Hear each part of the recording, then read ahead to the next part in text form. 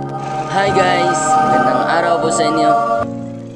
Ngayon, meron tayong Isuzu D-Max LX. I-road test muna natin to. May problema, low power. Ayan. Tara. So, ayan. Titingnan natin kung anong problema nito.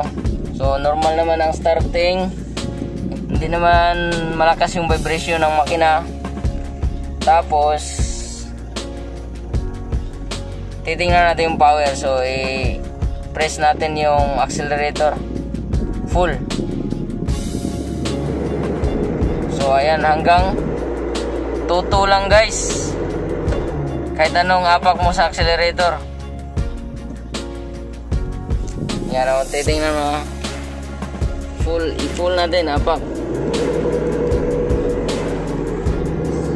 Hanggang tuto lang talaga guys. Walang check engine. So ano kayong mga possible cause nito guys? Ang ano nito ngayon guys is walang check engine. Or walang check engine light na umiilaw. So try nating patayin. Tapos on. Start. So normal yung starting. Try natin patakbuhin yung unit kung gumagana ba talaga tong speedometer natin.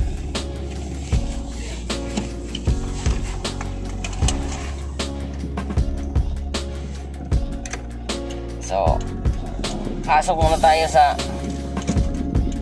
daan guys. Pinagtataka ko nito walang check engine light kahit hindi gumagana yung speedometer ibig sabihin nito baka busted yung bulb So ayan guys, so naka first gear tayo, walang speedometer na gumagana. Hindi po gumagana yung speedometer natin. Yan o. Tapos todo mo lang ano guys, diin yung accelerator, ganyan talaga yung power niya oh. Hanggang tuto lang. Kahit anong apak mo. Full, naka full press na tayo sa accelerator. Ayan, naka third gear tayo. Kahit idiin mo pa ng todo guys, hanggang tuto lang talaga yung power niya. Ayan, malakas na yung takbo, walang speed. So, unang possible natin na cause ng trouble na to is speedometer sensor na nakakabit dun sa ating transmission. At saka baka yung gear drive niya. So, ayan guys. Tumakbo na tayo ng mga 15 kilometer. Pero ang nangyari the same pa rin yung udo natin. Ibig sabihin hindi talaga gumagana yung ating speedometer. So possible cause baka hindi na kalagay yung connector natin or sira yung speedometer or yung driven or drive gear ng ating speedometer sensor. So possible na yun yung problema. So ito guys. Tingnan natin ngayon ang speedometer sensor location nasa output ng transmission po. Yung sa extension housing basta hindi ABS na unit. Meron yung speedometer sensor sa ating transmission side. Tatanggalin natin yan buo tapos i-check ang supply ng wiring yung positive tapos ground tapos yung ating signal circuit papunta sa ating speedometer at mas maiging tingnan rin natin yung sensor resistance yung tatlong pin. Then i-compare natin sa bagong sensor so ito na yung sensor nya so tingnan natin yung resistance ng terminal. So yan yung 1 and 2 42 k ohms so ang standard nito guys dapat OL yan. Ito meron rin. Kilo ohms pa rin. Tapos dapat ang reading is mega ohms dapat mga reading nito eh. So kilo ohms pa rin tapos yung 1 and 3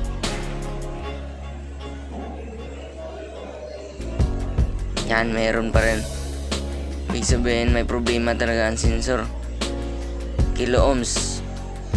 Dapat mega ohms. Tapos, baliktarin natin. Yan. Dapat sa baliktad, walang reading lahat yan. Yan. Meron pa rin. Kilo ohms. Wala. Problemado talaga.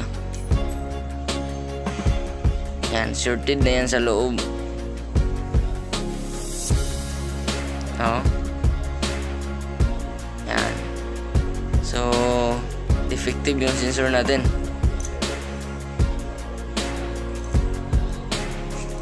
Ano? X.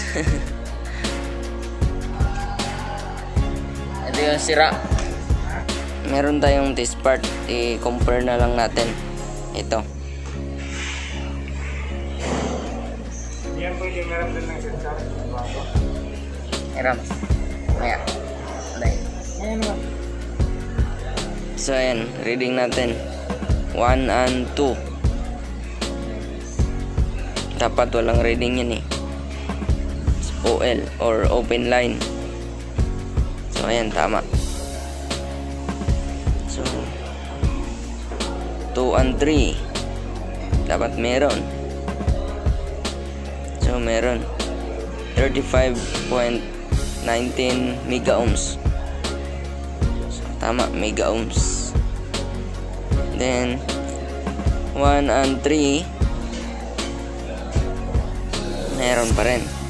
0.7 mega ohms.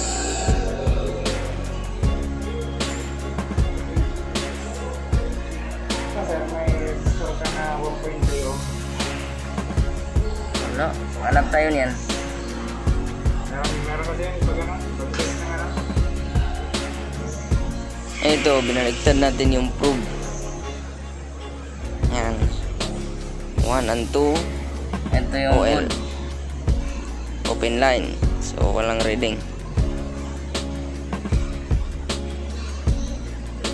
Tapos, tingnan naman din natin yung 2 and 3. Dapat OL pa rin. Yan, OL. So, walang reading. Basta good ang sensor, walang reading yan. Tapos 1 and 3, ganun pa rin. Sunod na eh. So,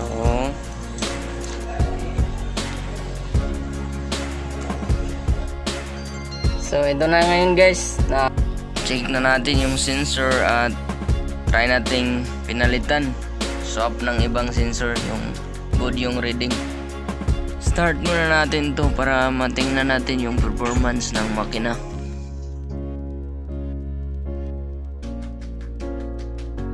Try natin eh. Rev. Ayun, may power na siya. Abot na dun sa 4,000. So, ganun lang guys ang pag-check ng ating speedometer sensor. So, double check lang rin yung power supply, yung ground, tsaka yung linya papunta dito sa speedometer. So, yun guys. Sana may natutunan kayo sa video na ito. Bye-bye!